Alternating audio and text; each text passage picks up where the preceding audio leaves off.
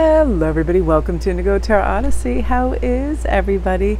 Today we're using the beautiful Divine Nature. So gorgeous. These cards came up for a client of mine last night, and I was like, oh, I want to use these in today's reading. As a combination, they're so wholly perfect.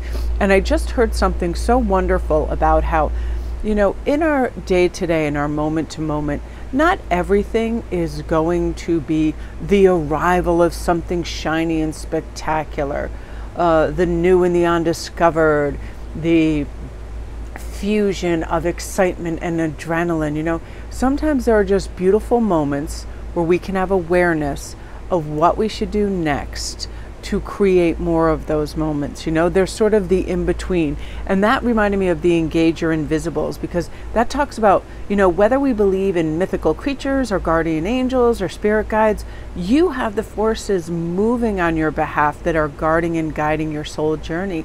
And if you're aware of them, now is really the time to contact them. Inquire, investigate, and ask for their help. You know, if you don't know who they are, suspend your disbelief call and conjure them in the quiet spaces. That's sometimes where we're doing self reflection and the fabulous and the shiny and the new aren't being presented left, right, and center as they shouldn't be because we would be overwhelmed. It's almost like if it was our birthday and we walked into a room and there were 800 presents. It would be like, how am I going to cherish and care for each one of these? There's so many at once. I wish I just had three so I could slowly anticipate and unwrap. That's why we receive what we receive when we do, so we can cherish it, understand, have reflection, right? Whether in relaxation, prayer, meditation, dream work, or just our active imagination, invite these invisibles in to engage with us, ask for support and assistance in what we need, and also it could be in identifying our next move on our path. Now, this, oops, this Create Your Stillness, I feel, is one of the most beautiful cards. I just love this. As soon as I saw it, I was like, it was so refreshing and it was just calming to look at for me. I felt like my eyes and my neck and my cheeks relax, my jaw, my, you know, my back relax. I was like, I just felt like, oh, I want to go swimming or take a nice cool shower. It was just, you know, um, this right in this in the book this talks about our quest right now is to soothe that kind of churning sea and calm the waves of thought and concern and create an intentional solitude to let the stillness at our core rise and meet all these shifting tides of our mind. Because when we court stillness we can find clarity and then we can find the next step on our path. And we're not necessarily um, just looking for mindless distractions, scrolling on IG, whatever, buying things online, munching on ice cream, doing whatever. It's like really creating stillness.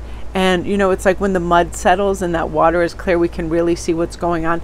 I like that in terms of people speaking to us in a way that we have to really figure out our own interpretation. Are we just going to react, you know, because of somebody else's ill spoken words?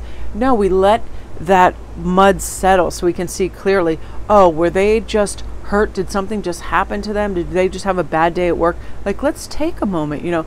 Creating stillness for me is saying i have no plans. There is an absence of plans simply so i can think and be in my thoughts. And again engage with our invisibles. That's so helpful you know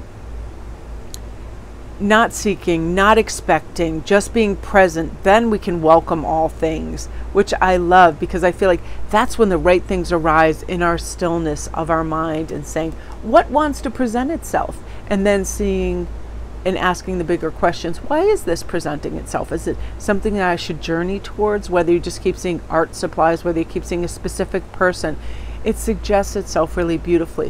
Which brings us to Twirl. I took a picture of this card yesterday and I just held it out for a screenshot to put on IG and it had all trees and sky in the background and it just fit in so beautifully. And I just love this. It reminds me of this wooded area that I love to walk through and at some points you see or hear nothing but animals and forest and it's so lovely. Waveny. It's absolute heaven and I feel like in there we do run and dance and twirl me and my offspring. We have a great time. And in the book, it talks about the secret to an enchanted life is to remember the playfulness at the heart of our divine child. That child never went anywhere, it lives in you. It's a magnetic force. It really influences every creative thought, relationship, project, or endeavor. Just think when you when you hear people say, "Oh, what do you think about this person?" and you're like, "I like them because we have fun together," right? Children when they're young and they they the divine child goes on energy and they the relatability of the energy of that person they dress like this they act like this no it is like their energy is fun and playful you know, I love this. Letting go of responsibilities, requirements. This is just engaging in play and allowing yourself to spontaneously skip down the grocery store aisle, you know, stand out in a rainstorm, talk to the trees, listen to the trees, follow the fireflies, and then go another step further and put play on the schedule.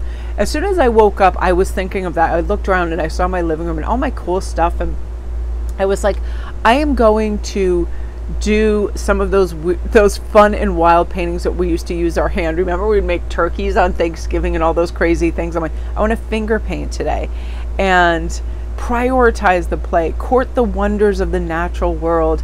Watch. I like also watching a nature channel. The best nature thing I have seen in, I think probably my life because it just engaged me so much was the Chimpanzee Empire over on Netflix. It just engaged me and immediately made me feel peaceful. You were deep in the Ugandan forest, and then you met these wonderful chimps and how they forged alliances and families, and just breathtaking. And I thought, this is play and wonder on another level because a lot of their day is just play with each other. And I thought it's just it, the whole the whole thing was so engaging and beautiful. And when we connect with our divine child, we find reasons to love more. We find reasons to be excited more because children aren't like, well, I have, you know, five of these handbags and I have all of these followers. Kids, young kids that are playful do not care about what they are acquiring and collecting. It's what they're experiencing. So go pocket those beautiful moments today whenever you can. Put on your favorite song. I love Justin Timberlake's um, dance like whenever that's on and i see all the different people and faces dancing it gets me in such a good mood. Music works as a great conduit for our inner child things of that nature. And what i will do for you guys too is tomorrow i will do a lovely flip through of this deck. It is simply magic. It embodies some of my favorite sentiments and ideas. This twirl is just so lovely. You know, there's a card in it that's like bubble up, and it's this wonderful um, girl just sitting on a pillow inside a bubble, and all these beautiful flowers around her, and just utter gorgeousness. So, my that is what you are meant to hear today. Hope you all have a great day. If anybody's interested in a private read, I have all my information in the description box. Everybody, have a great day.